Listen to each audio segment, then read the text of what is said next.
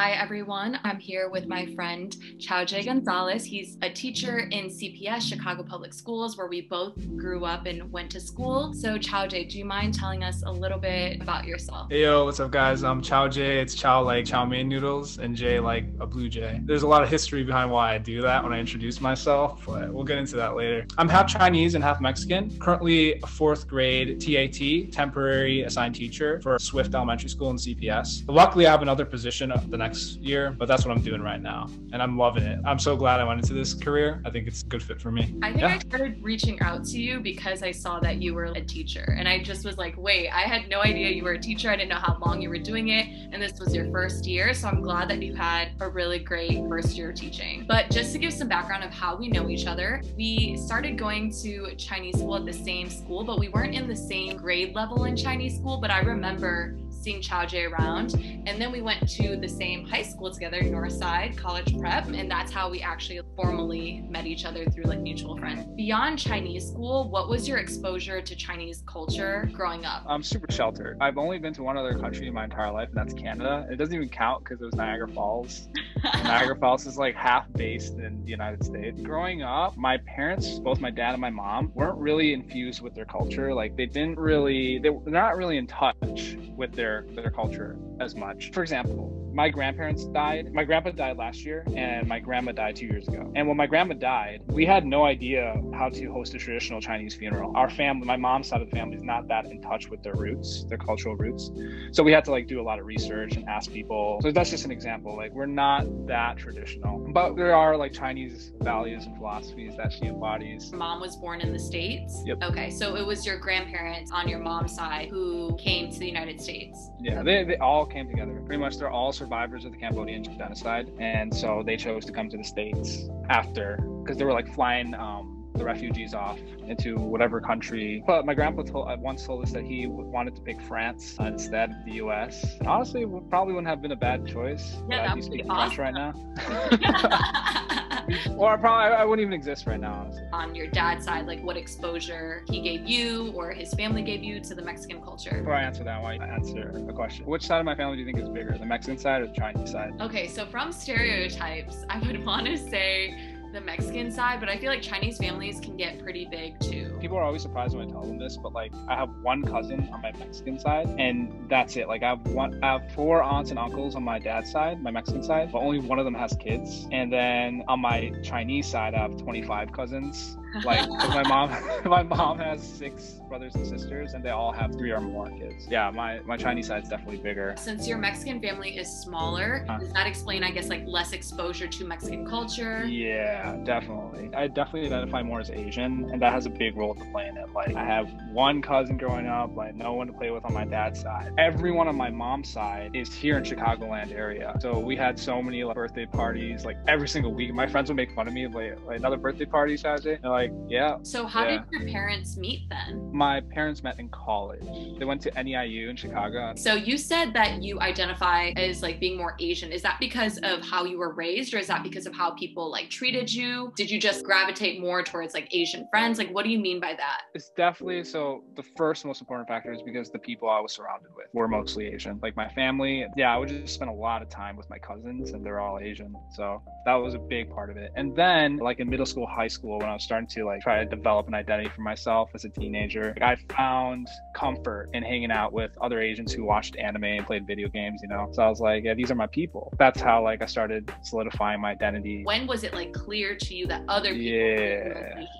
That's a good question. So, really early on, because of my name, honestly, it was like branding me on the head. I am Asian, right? Chow Chow J. Something so distinct as Chao J. Gonzalez, right? Like first and last Uh-huh. one Asian, one Hispanic or Latino. Yeah, my teachers would be taking attendance. I hear a three second pause. I'm like, that's me.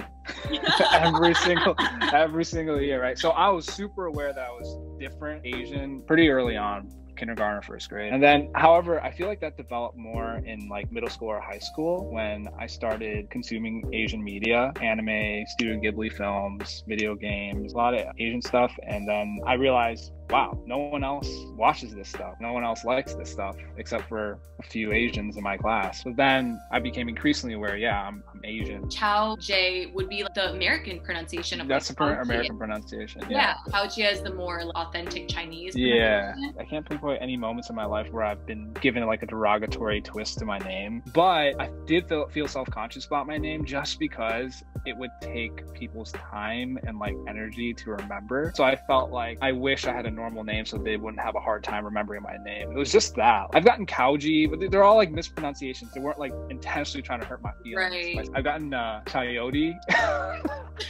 My my so- soccer coach, my soccer coach would call me Coyote. So I'd be like ru- uh, sprinting down the field because I was a I was a forward. like I'd be- Coyote and then Chao Yeah. Like- yeah, yeah. So I'd be sprinting down the field, and he'd be like, "Coyote, get the ball." Well, so now as a teacher, I guess you go by Mr. Gonzalez, but you know, kids are Mhm. curious about like first names, and I know my students want to try to figure out how to pronounce my first name. So, have you had that conversation with your students about your name and where it comes from and your background and all that stuff? So none of them know how to say my first name yet, and it's because I have never told them, and I'm refusing to tell them just because I want to get on their nerves. It's not because I'm embarrassed about my first name or anything like that. Yeah. It's just like I like concealing it. They get more frustrated. That's fun to me. I'm gonna tell them when I leave at the end of the year how to say my first name. They were, they're like, "What are you?" Right? That's one of their first questions. They knew I was Asian because they think I, I thought I loved Filipino. They didn't really say much when I said I was Chinese and Mexican. They're just like, "Oh, cool."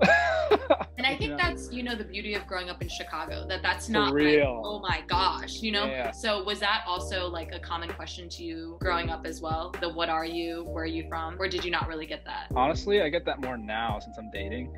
it's like one of the first questions I get. Like, what, what, what are you?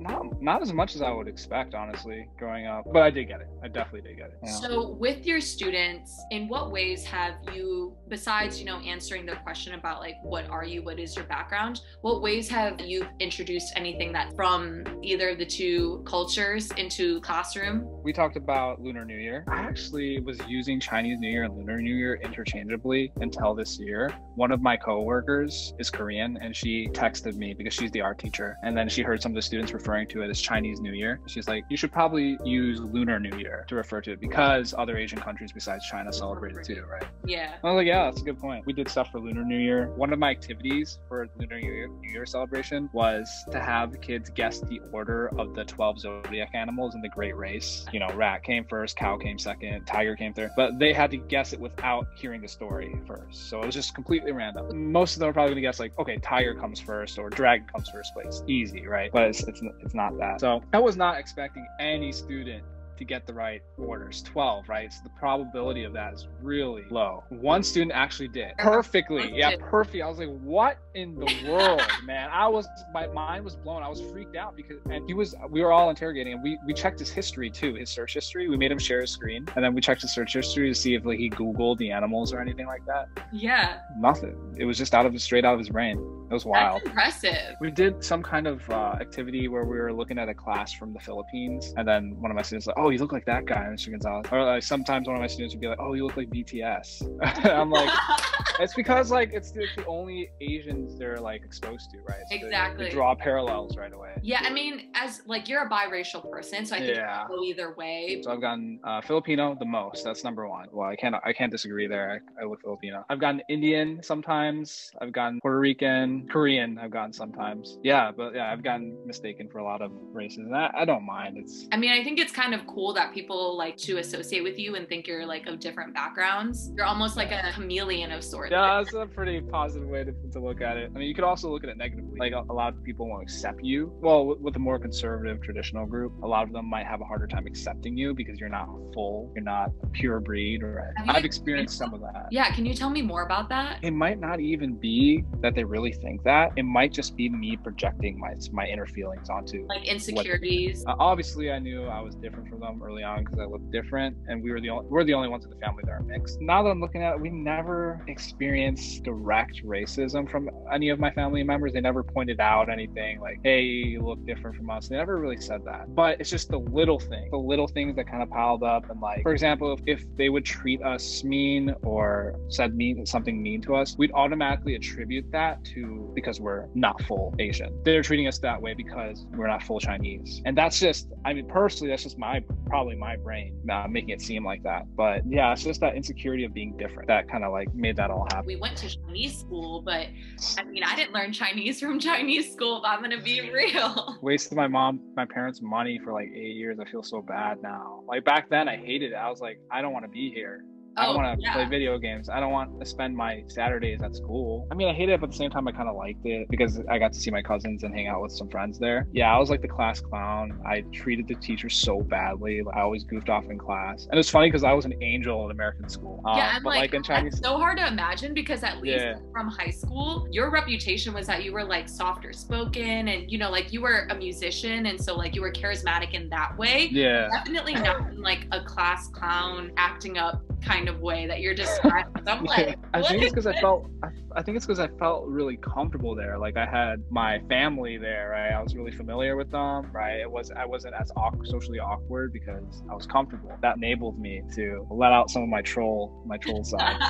Looking back, I re- really regret it. Like that was an awesome chance to learn Chinese. I took Spanish in high school, so I can speak that very poorly, but enough to convey ideas to some of my students that only speak Spanish. I don't speak any other language fluently. there is kind of that divide in the Asian community of do you hang out with Asians or do you hang out with white people or Yeah. other multiculturals? because Asians socially have the option to be part of the white people. It's just like how it is. White people are more accepting towards, well, at least racist white people are more accepting towards Asian people because they see them as a model minority. Right. They're like, oh yeah, you can you can stand on the same stage with us, right? And Asians like that invitation because white people are socially speaking high status. on the Yeah. outside, you know, on the surface level, are Right, on the surface level. But then internally, if we have the issues that we have, if people don't address the inherent issues in that model minority stereotype, then they're kind of negating the fact that Asians, at least like for politics and in media, not until recent times, haven't really been given much of focus or a platform. The college course that I took, it was like my senior year that kind of went into Asian American history Mhm. talk about the fact that the model minority stereotype comes from the whole idea of elevating a minority group, but to make them feel like they have a little bit of power over the other minorities so that it kind of breeds like a internal a divide.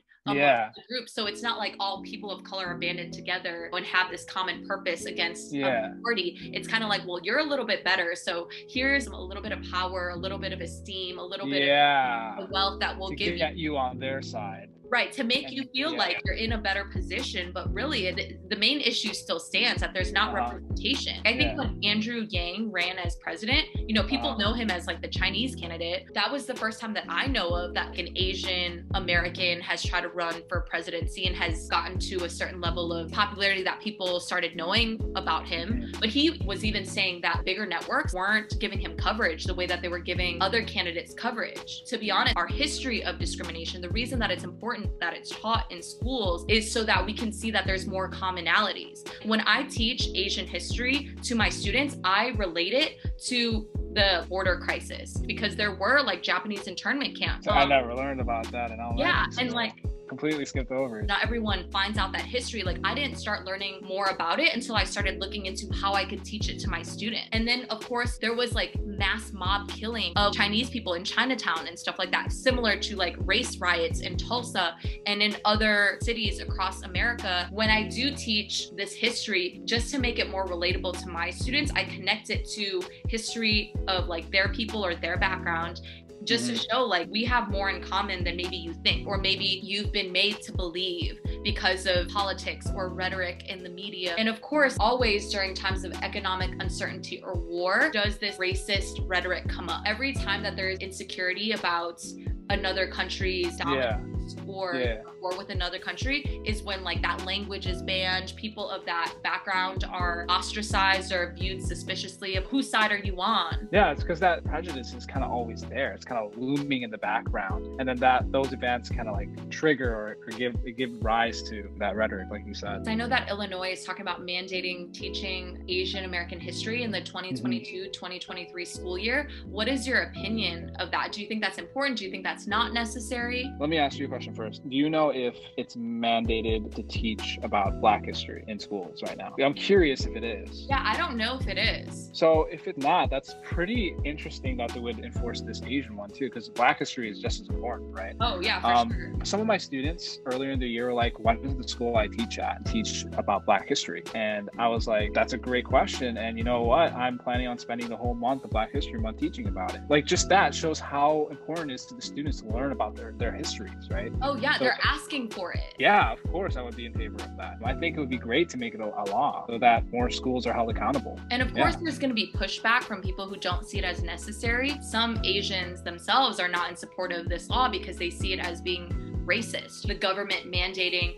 that a certain people's history is being taught, even talking about the model minority stereotype is considered to be buying into the victim narrative. They don't want to buy into the identity politics because they don't want to talk about their race all the time. I don't get that. Like that, that's the same thing as like talking about transgenderism in class. How is that bad? How is that a negative thing? You're just educating the students about. You're not telling them to take one side or the other. You don't have to support transgenderism. I'm just telling you that they exist. There are transgenders. And- especially with our role as like educating young people to make better decisions. So it's like, how could we not equip them with this information? Crazy how late some of us have learned this history and how once we learn it, it's kind of life changing because it's Yeah. like, what? Like that happened? Like there was a Chinese Exclusion Act that limited the number of Chinese people who could come, even though they just helped build the railroads. This is so important because have you ever seen the TED Talk, The Danger of a Single Story? Thing about stereotypes and why they're so dangerous is because it's one story. It's one story, and then it completely affects how you view a certain group of people just based on that one story. But when you educate people about groups of people, other groups of people, you're feeding them multiple stories, more experiences, so that they can gain a better understanding of that group of people and make better judgments about them. I think that's so important. And I, and I think the root of all like conflict and hatred and violence in the world is a lack of understanding. Mhm. We just don't understand the other side enough. And if you're not teaching them, people, the public, about these different cultural backgrounds and their histories and all that stuff, then you're depriving them of having an accurate understanding of these different people. I think it's Yeah. more of like the shared history as Americans. Like, first off, even white Americans are immigrants, right? Like, European Americans Yeah. are immigrants, but for whatever reason, sometimes it's seen as like those are the majority, those are true Americans, like white Americans. Let's look at the history books again. Like, Native Yeah. Americans were here. It's so important to educate people of that because it's never good to just have one story about a group of people. It's awesome that like Hi-Chews and different snacks, like food and media, pop culture is a way that our students are getting a better understanding of Asian culture. But that doesn't mean that there's enough education about yeah. Our history and about the struggle of Asian Americans. I feel like a lot of times within the Asian culture, it's like, you know, don't talk about it, don't draw attention to it. Let's just work Mhm. hard and people will recognize that we're good enough. But it's like, no, we should talk about it. And Yeah. we should stand up for the injustices. That's like the issue with the term, the colorblind term, right? That's not good to be colorblind. We should see our differences and we should acknowledge them and we should learn about them. We should talk about them. Being colorblind means you're turning a blind eye to all these problems in society. Well, thank you so much, Chao J, for having this conversation with me, taking your time, sharing your story, sharing your opinions about the state of American society. I hope that we can do this again. Bye. I know. Thank you. Anytime. Peace out.